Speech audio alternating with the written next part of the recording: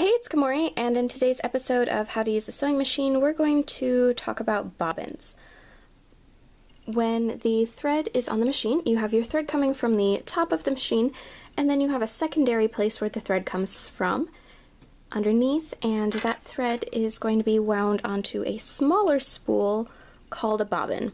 You can pretty much get two different types of bobbins. You can either have some made out of metal or you can have some made out of plastic. In my personal experience, I find that the plastic bobbins are more likely to break, especially if you accidentally step on one, where the metal ones are more durable. However, when you're sewing, if you are in a dorm room or something like that, I do find that the plastic bobbins tend to be less noisy than the metal ones. If you are unsure what size bobbin you need for your machine, you can start by checking the manual that came with your machine. And sometimes that information's in there, sometimes it is not. I went looking through my manual and I could not find that information anywhere. Also had a difficult time finding it online. It seems like they're operating under the assumption that you're just going to buy the bobbins from the manufacturer, which really isn't feasible for everyone. So, unfortunately, in that case, there really isn't much you can do besides get a pack of bobbins from your local Walmart or fabric and craft shop and test it out and see which fits for you. When you first get your bobbins, they're going to be empty, so you're going to have to fill them with whichever thread color you need for your project. And you're going to do that by taking your base spool of thread and you're going to slide it onto the top of the machine. Then there should be a little stopper to keep it from flying off. And when you're putting your thread on, your spool of thread on, you want to pay attention if there are any notches or any irregularities in the plastic that could potentially catch the thread. So if there is a notch, you want it to be on the back portion of the spool. Then you're going to take your thread.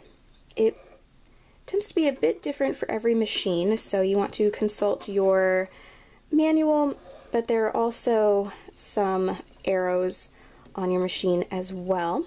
So for this one, we're going to take the thread and we're going to bring it around this little piece right here. It's a bit difficult to do one-handed. Then we're going to take the bobbin and slide it onto this little piece here. And we're going to take our thread and and and you're going to bring it up through one of the holes in the bobbins. Some bobbins only have one hole. However, this bobbin has holes on the has a bunch of holes. So you can just use whichever one you want grab the end. Oh, it's not on fully. Press it down a little bit more. Then we're going to bring it over and this is going to act as a little guideline and for this machine to activate the bobbin you're going to pull this section outward until it pops. Once everything is in place then going to turn the machine on and Keep a hold of this little piece of thread for the beginning just so it doesn't go spiraling out of control and press the foot pedal down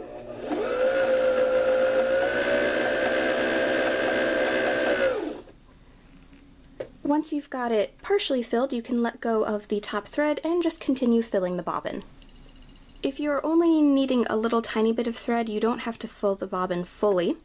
You can just fill it to whatever you think is appropriate. Then you Pop the bobbin back out so that it can be removed and just trim the thread so that it is no longer attached to the larger spool. Remove the bobbin and also be sure to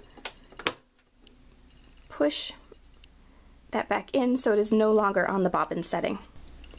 And that was a quick intro to bobbins. In the next episode, we will talk about how to thread the machine itself, and start sewing.